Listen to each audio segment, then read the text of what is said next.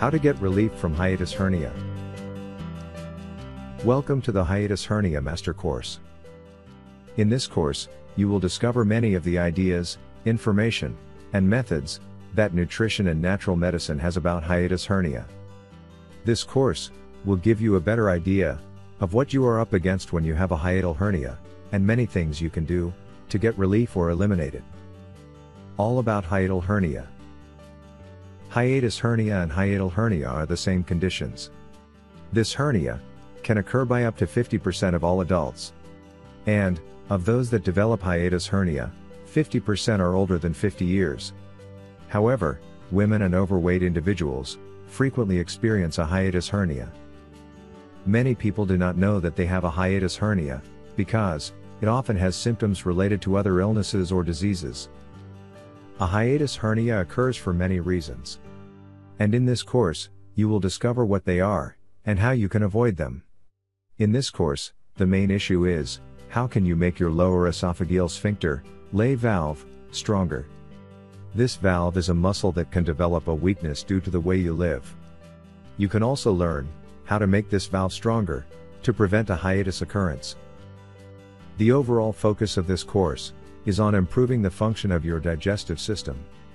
This system is quite complicated, so, most of the concentration will be on making your lay valve stronger to reduce the gas pressure against the lay valve due to poor diet, digestion, absorption, and elimination, and lifestyle. There are specific natural remedies and supplements that help deal with a hiatal hernia, which will be revealed. Many of you may have already tried many remedies, with some success or some failure.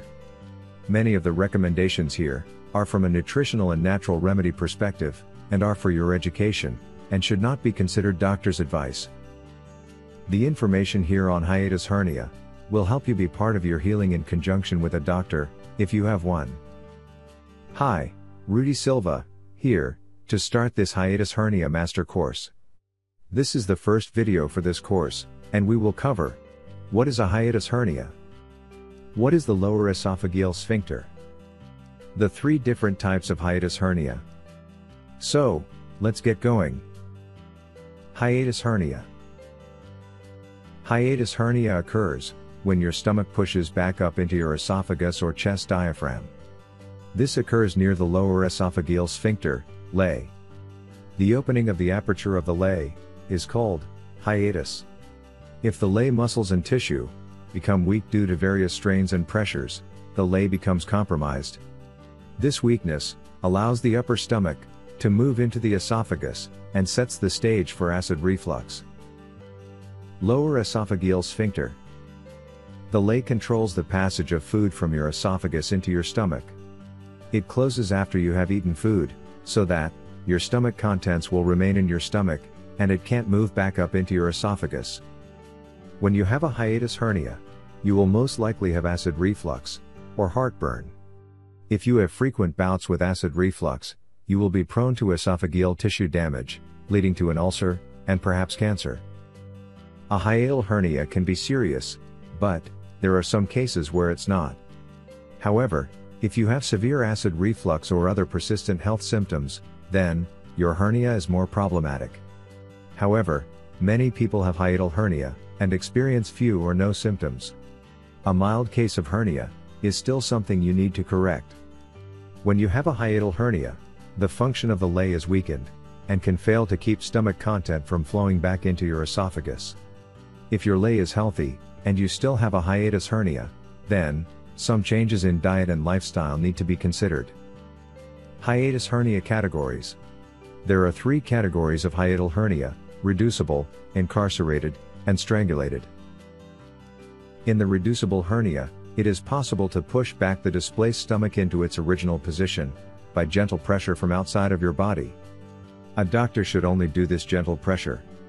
Once your stomach is back in place, the diet, natural remedies, and supplements listed here, will help you maintain a healthy stomach condition. In the incarcerated category, the out of place stomach cannot be pushed back manually, since it adheres to the surrounding tissue.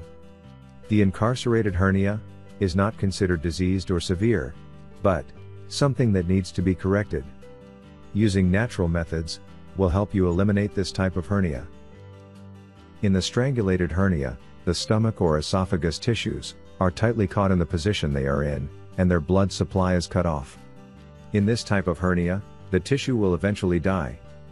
This is not typical, but when it does happen, surgery will be required. Final thoughts and ideas. A hiatus hernia occurs when your stomach pushes up into your esophagus at the stomach esophagus junction, called the lower esophageal sphincter or lay valve. There are many reasons you have a hiatus hernia. And to cure this condition, you need to make many changes in your lifestyle. I am here to help you understand your condition and give you the nutritional advice to help overcome your hernia. Many people have a hiatal hernia and are not aware of it. In this course, you will discover many of the symptoms related to hiatus. So, you can determine if you have this condition or not.